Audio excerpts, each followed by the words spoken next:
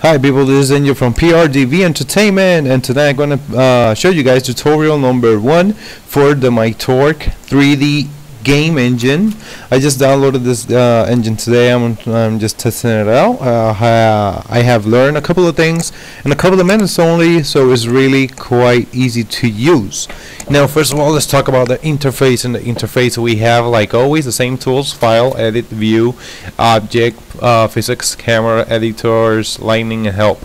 Uh, from here you will be working a lot with the editors you also have uh, all the editors on this toolbar right here but for to be easier to read you can go to the top of your window click on editor and you will find object editor terrain terrain painter material sketch tool data block decal forest mesh road mission area particle river road and path and shape editor.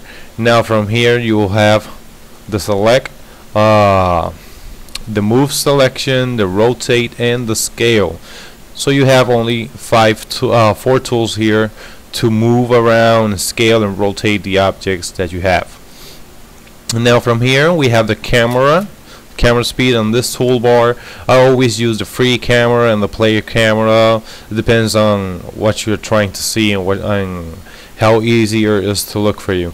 I always use only these two. As you can see, we are right now on the free camera. This is the normal way to see everything around the map. And the first person shooter to see how it looks like uh, in the game.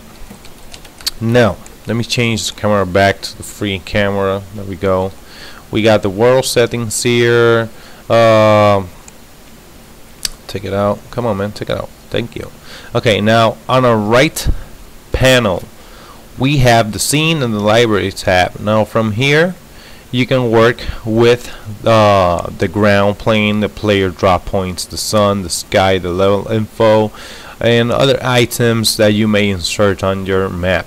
From here, if you choose to click on the sky on your right panel, you can go into the properties on the bottom as you can see on the Spectre, Skybox Material, and click on that little circle that you have there from here you can choose uh, what texture you're going to be inserting for the sky so I'm going to be choosing the sky once again here we go as same as for the ground plane go to the plane go to material click on the circle and you can choose the texture that, that you want to add to your ground. I'm gonna leave it back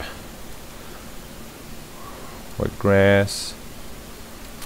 There we go. Now this is not grass. This texture is for trees, but I didn't find grass on the game, so I needed something to look almost like grass on the floor. Okay. So from here, you also have uh, the library.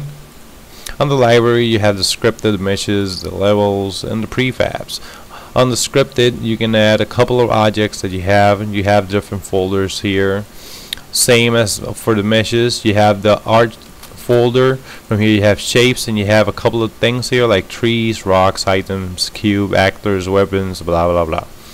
From here on the level you have the environment the sample objects the level and the system. From here you will be working a lot with the environment and the level. In the environment as you can see you have basic clouds basic sun uh, cloth uh, cloud layer, ground cover, ground plane, lightning, particle emitter, point light, precipitation, scattered sky, skybox, sound emitter, spotlight, terrain block, water block, water plane, and wind emitter. If you go back, on the level folder you will have camera level info mission area a response sphere occlusion volume path the path node uh, that you will be working a lot with this thing because this is what setups uh, all the enemies on the game. Uh, we got the physical zone we got the player spawn sphere sound space time of day trigger zone zone, uh, zone portal. Um, here on the system we don't have nothing for that okay? So basically from this right panel you will be working with all the properties that you insert on the map uh, for your objects. All the objects all the properties will be here on this panel. Uh, this is the only thing I'm gonna be uh, teaching you guys on this tutorial on this uh, first tutorial. So I'm gonna try to create a second tutorial for the end of this week trying to show you guys how to add trees how to uh, work with the with the uh, oh my god with the terrain editor the terrain painter and the material editor. So I hope to see you guys uh, the end of this week. This is Angel from PRDV guys. Bye